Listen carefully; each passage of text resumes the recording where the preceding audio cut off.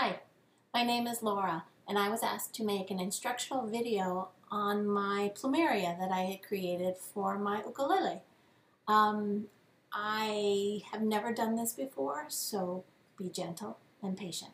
And I'll do my best. Um, these are the items that I need. Close. And I'll show you how you can make your own. This one, and same thing here. Uh, slightly darker green leaf on this. And they're real simple to put on. It's just an elastic. It'll fit right over the headstock. I like it at a slight angle, one diagonal. So I strapped it on on the diagonal. And I'll do my best. Hang tight. Here are the items that you'll need. First off, a sheet of foam. I bought that at the craft store. They have lots of different colors, um, primary colors, bright colors. Um, I bought white to stick with the traditional color of the plumeria, a pair of scissors, a paintbrush, some paint, acrylic. Um, I used yellow to stick with the traditional color of the plumeria, green ribbon for the leaves, glue, I used a hot glue gun, an iron, or you can also use a hair straightener, a marking tool or pencil. Here I have used a Phillips head screwdriver, but a pencil will work, or uh, if you don't want to leave a, a mark, you can use anything that will cause an impression in the foam. A hair tie or any round piece of elastic. Small pearls are optional, or just a small bead if you'd like. Needle and thread, and the petal template let's get started. So we are going to make the petals for the flower. Um, make sure you wash your hands if you're using the white foam because it will pick up any grime or grit that you have on your hands. Um, this is one piece of foam that I've already been working with. So I'm going to work from there. I've made a template for the petals that I'd like. Now I noticed that the plumeria also have uh, a more pointed version and if you'd like to do that you can. I like the rounded one uh, or the more flat edge so that when I um, bend the petal, it just has a, a nice rounded edge. Um, but it's whatever you like. The petal that I made is about the size of a guitar pick. Um, you can make the petals any size you like for whatever size flower. The first one I made, I did make bigger, but I did find that I wanted a smaller flower for uh, embellishing the ukulele if I wanted to have more than one. So, as I said, we'll trace, we're going to trace the petal on the foam. We're going to make five petals. Using a pencil is absolutely fine, but I did find then that you had to be careful about how you were cutting out your petals. You had to make sure to cut on the inside line of the pencil, and it can be a pain in the neck. Um, if I use a screwdriver, and this is just a Phillips head screwdriver, a little screwdriver, it leaves enough of an impression on the foam that I just have an indentation I can follow. I can cut it out that way, and I don't have to worry about any pencil marks. So first we'll make our five, five um, petals.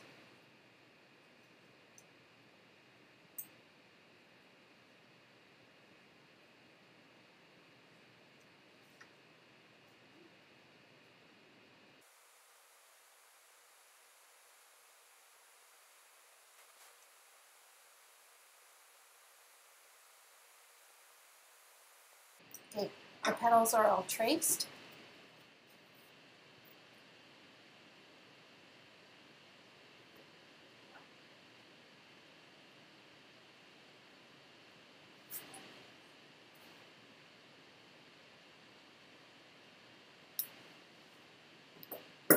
There's one petal, and we'll do that four more times.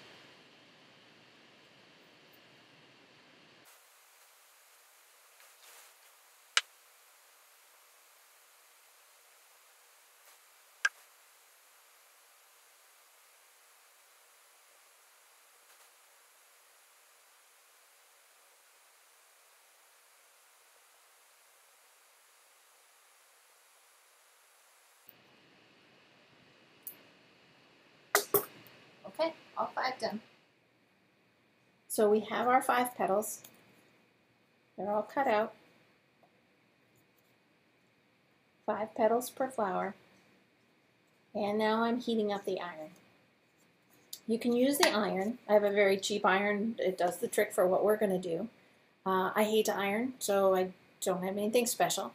You can also use a straight iron for your hair. I liked it for part of the shaping. I didn't like the, the flat iron for another part of the shaping. I felt like I was going to burn myself, but you can certainly use whatever you like as long as it gets nice and warm. So we'll see. Good, we're here.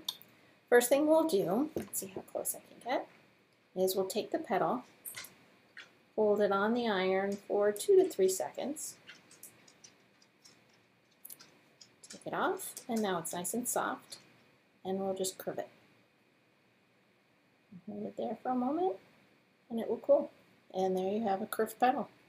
How easy was that? Now we'll do that for the other five, the other four.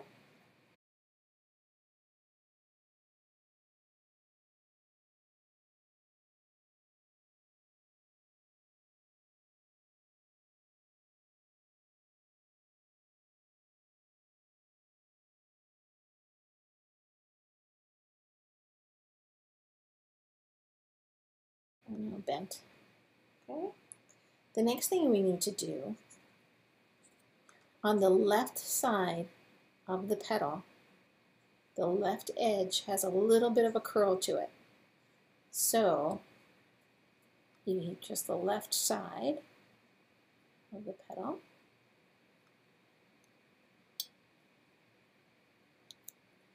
And then give it a little curl.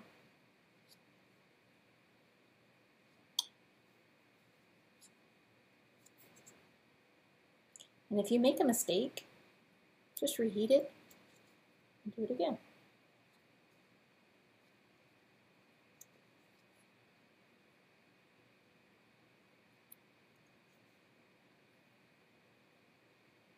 takes me a little time for some reason. There might be a better way. And following my statement before about whatever side you're heating, it tends to fold upon itself. I have a hard time heating it on the convex side. Getting fancy. Uh, because of the first curve I made. So there. Now we've made a little curve. My petal, oh I know it's hard, it's white, huh? See how I can show the curve the best.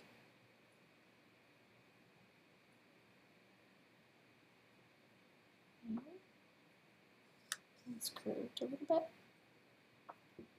So we have to do that to each of the petals. One down, four to go.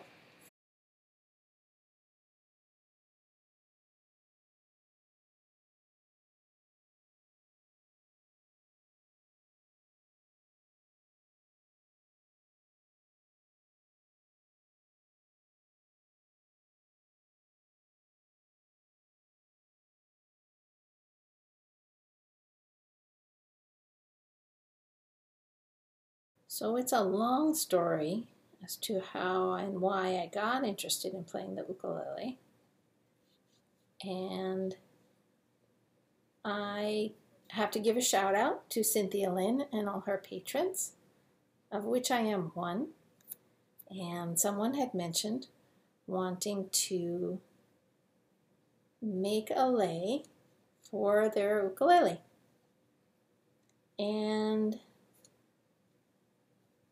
they were uh, not terribly costly, but costly enough for something small that, that I guess someone felt they could make them themselves. And it got me interested in how I could make one for myself. So I played, and this is what I came up with. There's probably lots of different ways. I know there's a way with ribbon. Um, which is kind of cool. But I like the foam. It made it a bit durable, more durable. Although I do make the leaves out of, oops, let's see, I don't mean to block your view. trying very hard to make this work. Again, forgive me, first time I've ever done anything like this. It may be the last too.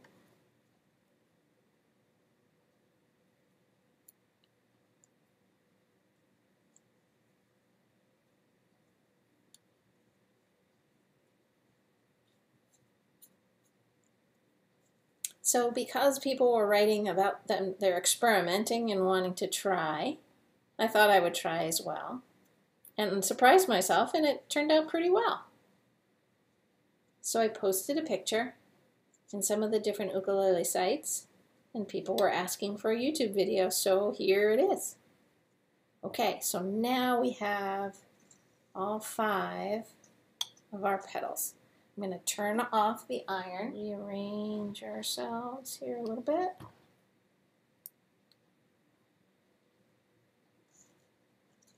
Okay, so here are our five pieces. Okay, with the left the curl on the left side.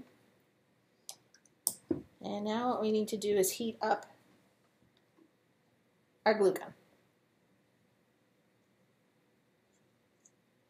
So far pretty easy, right? Totally manageable. We'll take one of the pieces and on the flat edge, you'll put some of your glue. And you know, I suppose you can use different kinds of glue. I have not tried. Where are you? I haven't tried. Oh, focus. There, that's kind of cool. It's almost extreme close-up, isn't it? So on those straight edges, a little glue. Meet. Hold that down a little bit. Do try and get the points to meet so you don't have a hole at the bottom of your flower or too big of an overlap either way. And if you can, be as careful as you can about the glue because you're going to paint the inside a little bit and the, and the glue will take up the paint a little differently than the foam.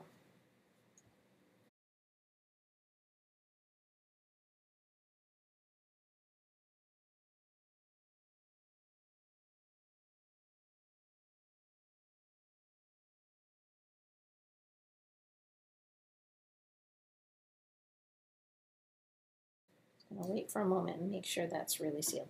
Oh, be very careful with your nails. Um, they do tend to, if you push hard enough, leave a, an impression in the foam.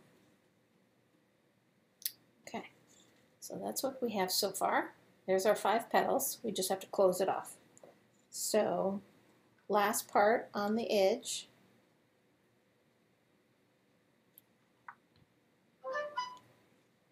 And close it up. Oh, I've got all kinds of noises happening here. Close it and hold it. Just make sure it cools.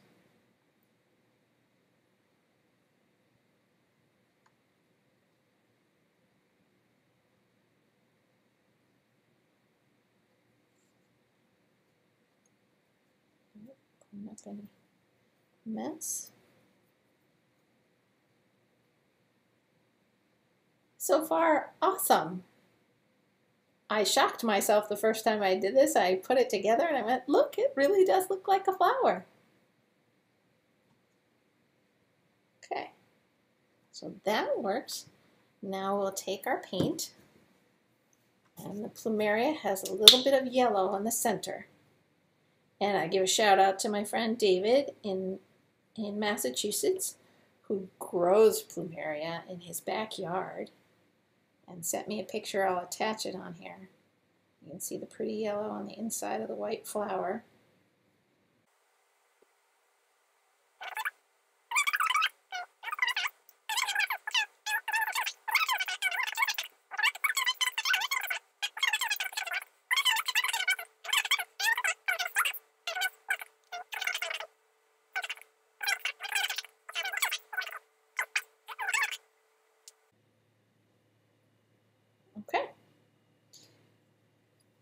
Now, I think the last part that I will do, you let that dry, but I'm going to be impatient. And I just did this for the heck of it. I got these little tiny pearls from another project. Everything with the exception of the foam was left over from another project. Um, so I had these little pearls. And I thought they would be kind of cute inside. So I know it's not quite dry, but instead of hanging out and coming back, put a dab of hot glue in there. And then I put the little pearl. Totally not necessary and actually not um, anatomically, is, is it the anatomy of the flower anatomically correct for plumeria because they don't have anything in the center like that, but I thought that made it kind of neat. So there's, there you go. Just like that, easy enough. Um, I'll show you how to make uh, the leaves. Be right back. Okay, so for the leaves, I just bought some green ribbon the first one I made, I actually used a lighter green ribbon and I liked it. Although then when I saw the real plumeria, at least the one I saw, had a really deep green. So I was trying to be more accurate, uh, but you can use whatever color you like. This green happens to, the satin ribbon happens to have a wire, a thin wire running on each side. Completely not necessary, but I couldn't find one without. So what you'll do is take a strip Oh, again, it can. It doesn't really matter. Let's say it's four inches, maybe. Cut the ribbon. Put that aside. Um, when I work with ribbon, I'm concerned about these ends, so I will actually burn the end so that it doesn't fray.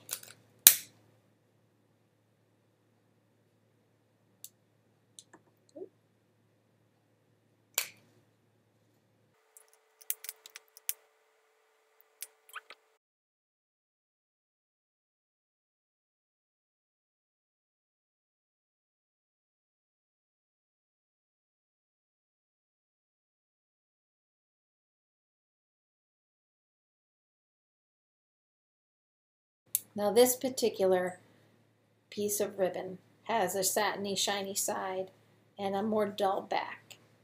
Uh, again, you can have whichever other side you like. In fact, hmm, I might like the more dull side. I'm going to try that. Um, so whatever side you want to be showing, you will fold in. I'm going to use the more dull side, so I'm going to fold it in. I'm just curious. I'm going to try. So you fold that in half and no fancy stitches here at all. Thank goodness because I don't enjoy doing this. Um, you're just going to go back and forth in and out all along one side.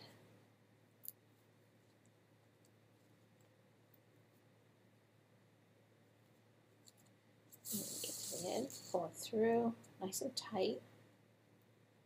And I probably have really cheap thread here, so I'm going to be very careful.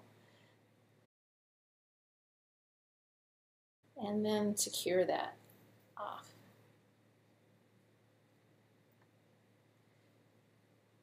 And you all probably know how to do this a lot better than I do. I just don't have the patience for it. Lots of other things, yes. This sewing, no. Embroidery, I don't mind. But sewing, not so much. So you'll clip that.